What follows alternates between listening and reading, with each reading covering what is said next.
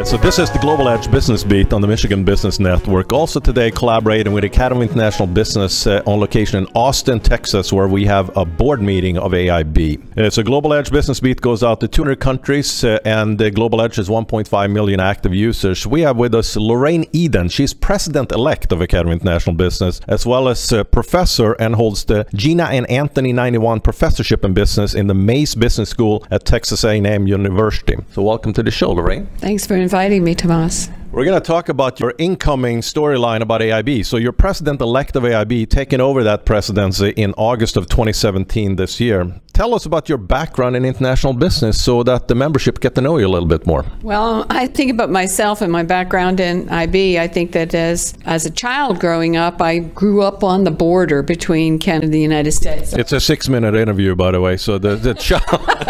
so I, I really think I've all my life been interested in international business. From a child going across to the American side, dealing with American currency versus Canadian currency, worrying about taxes, worrying about corruption corruption and illegality. These all spring from being a child growing up on the border. The, wow. my, my interest in things on liability of foreigners, for example, on insiders and outsiders, comes from growing up on a border. Let's drill that down a little bit. If you had to describe yourself, we don't want to box ourselves in in any way, but if you have to describe yourself as a researcher, what type of researcher are you? Um, I, Sariana said she was eclectic, and I was thinking that was the word I would have used for myself, interestingly, too. Everybody loves um, John Dunning today. Uh, well, I think the interesting is I like puzzles. And I like puzzles that deal with multinationals, and I like puzzles that deal with multinationals from one country to another, so how institutions can affect their behavior. Um, I like shocks and responses. I'm very interested in when there's a policy change, how multinationals respond to that change. So, Brexit now you can go back and look at. I was uh, academic in Canada when the Canada-U.S. Free Trade Agreement came in, when the NAFTA came in. So again, how firms respond when governments change the rules. We have a new president being elected today, no, being coming inaugurated. in inaugurated today, and um, one of the big interesting issues is how the rules are going to change again, and how firms are going to respond to those rules. Which is frankly great for us as international business researchers because we have opportunities that are going to be either close minded, open minded, or somewhat flexible. We have all kinds of different aspects of looking at that. Uh, you talked about a number of different things that intrigued you. Is there a particular passion in terms of research or topics at this particular point in time that intrigue you more than others? Well, I, I would say right now the thing that's driving me is worrying about transfer pricing. Uh, it's a huge issue, of course, at the OECD with the BEPS initiative. I think those tax changes coming here in the United States will have clear implications. Maybe I should say transfer pricing is the pricing of transactions that happen inside the multinational.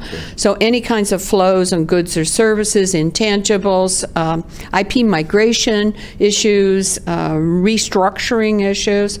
I think this is a huge topic now, and I teach a course on this. I have more than 100 students out in the workforce as transfer pricing professionals. So, if you ask me what's near and dear to my heart these days, it really is the issue of tax and transfer pricing.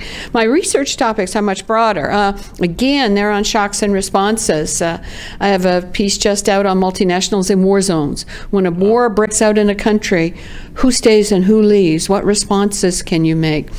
I have work on liability of foreignness. When you're an outsider, a foreign firm coming into a country, what are the ways that you can cope with liability of foreignness and survive in that foreign country? So those are some of the things that are driving my research. My near and dear passion, though, right now is transfer pricing. So you are the incoming president of the Academy International Business, which means that uh, you really like us for starters, but you also value uh, being part of AIB and then want to take a leadership role. And you obviously were editor of the top journal we have, Journal of International Business Studies, previously. So multiple roles over the years, but the incoming presidency is the one that comes to mind. That also begs the question of uh, when and where or why did you get involved with AIB, and uh, what is the value proposition of being part of this network to you? I, be I became an AIB member in 1991. And um, it was strong recommendations of two people who were both influential mentors for me, and that was John Dunning and Alan Rugman, who both said, Lorraine, you need to join AIB. You'll find a community of people there that care about the things you care about and that you can talk to and uh, enjoy, become co researchers with. And that's exactly what I found. I found my core, if you have a core word that describes me, it's an interest in international. I as again, as a border child, you might expect an interest in international. And at AIB, I find a group of people who care about international business, who care about multinational firms, um, who care about the things that I care about. And many of them have become co authors with me over the years. Lorraine Eden has been our guest. I'm Tomas Hult. This is the Global Edge Business Beat on the Michigan Business Network. Today, in collaboration with the Academy of International Business, Lorraine Eden, of course, is president elect of the Academy of International Business, as well as professor in the Mays Business School at Texas A&M University, with Eli Jones as a fantastic dean.